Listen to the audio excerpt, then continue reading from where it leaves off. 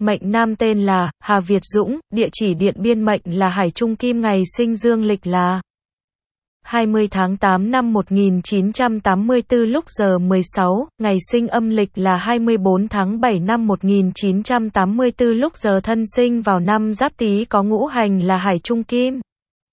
Tháng nhâm thân có ngũ hành là kiếm phong kim ngày bính tuất có ngũ hành là ốc thượng thổ giờ bính thân có ngũ hành là sơn hạ hỏa với năm tháng ngày giờ trên sẽ hình thành nên tỷ lệ ngũ hành ban đầu. Mộc 1% là quá ít, hỏa 30,4% là hơi nhiều, thổ 20,2% là cân đối, kim 38,4% là quá nhiều, thủy là 10,1% là ít, tỷ lệ ngũ hành ban đầu cho biết vận trình trong cuộc đời diễn ra như thế nào. Ngoài ra còn cho biết tính cách sẽ hình thành ban đầu. Tỷ lệ ngũ hành ban đầu giúp suy ra tỷ lệ ngũ hành hiện tại được tích lũy qua từng năm. Nguyên nhân tỷ lệ ngũ hành mỗi năm biến động là do hai yếu tố, một là do vấn đề thời gian, hai là do môi trường. Tính cách thông qua tỷ lệ ngũ hành ban đầu của mệnh hải trung kim có nhiều ngũ hành kim là kim chủ về nghĩa, tính tình cương trực, mãnh liệt. Người mà kim thịnh là người không béo không gầy. Mặt trắng trẻo, lông mày cao, mắt sâu, sức khỏe tốt, tinh thần minh mẫn, tác phong quyết đoán, trọng nghĩa khinh tài, tự trọng.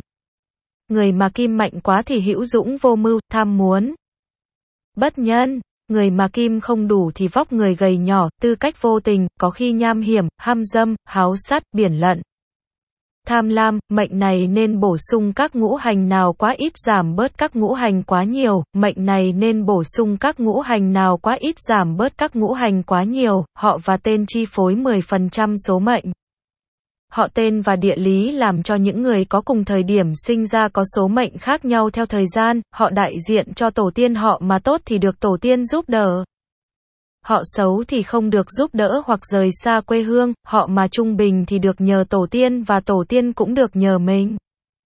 Họ Hà đối với mệnh này là khá ngoài ra họ Hà ý nghĩa là sông, là nơi khơi nguồn cho một cuộc sống giạt rào, sinh động. Họ, Hà thường để chỉ những người mềm mại hiền hòa như con sông mùa nước nổi mênh mang, bạt ngàn, chỉ sự nhẹ nhàng và mưu trí sâu xa, ngũ hành thuộc thủy sinh ra mộc. Được kim tương sinh nhưng kỵ với hỏa và khắc với thổ. Tên lót đại diện cho anh em bạn bè tên lót mà tốt thì được nhờ anh em bạn ngược lại thì bị anh em bạn bè tranh đoạt và lợi dụng. Tên Việt đối với mệnh này là trung bình ngoài ra tên Việt có ý nghĩa, tên Việt xuất phát từ tên của đất nước, cũng có nét nghĩa chỉ những người thông minh, yêu Việt ngũ hành thuộc thổ sinh ra kim. Được hỏa tương sinh nhưng kỵ với thủy và khắc với mộc.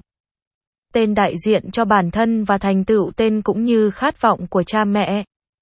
Tên mà tốt thì có được thành tựu tên xấu thì vất vả gian nan, nên chọn các tên phù hợp để có số mệnh tốt hơn tên Dũng đối với mệnh này là hơi xấu ngoài ra tên Dũng ý nghĩa là sức mạnh, ý chỉ là người can đảm, có khí phách. Người gan dạ, dũng khí. Ngũ hành thuộc hỏa sinh ra thổ, được mộc tương sinh nhưng kỵ với thủy và khác với kim. Tên gợi ý nên chọn các tên có nhiều ngũ hành mộc hay có nhiều ngũ hành. Thủy vào trang website tên hay bế cưng.com có danh sách các tên theo ngũ hành địa lý chi phối 30% số mệnh bởi vì địa lý tạo ra mỗi trường xung và chi phối văn hóa, lối sống, hành vi. Địa lý đóng vai trò lớn nhất trong việc chi phối số mệnh. Địa lý mà tốt và khá thì thành công ở nơi sinh ra, địa lý mà xấu thì khó có được thành tựu, cần phải di chuyển đến nơi phù hợp nơi bạn sinh ra là tỉnh, Điện Biên có ít ngũ hành hỏa có nhiều ngũ hành thủy, đối với mệnh này là khá tỉnh, Điện Biên nằm ở rìa phía tây khu vực Tây Bắc Việt Nam. Điện Biên có tọa độ địa lý từ 20 độ 54 đến 22 độ 33 vĩ độ Bắc và từ 102 độ 10 đến 103 độ 36 kinh độ Đông. Điện Biên nằm cách thủ đô Hà Nội 504 km về phía Tây có vị trí địa lý, phía đông và đông bắc giáp tỉnh Sơn La phía bắc giáp tỉnh Lai Châu phía tây bắc giáp tỉnh Vân Nam, Trung Quốc phía tây và tây nam giáp Cộng hòa Dân chủ nhân dân Lào.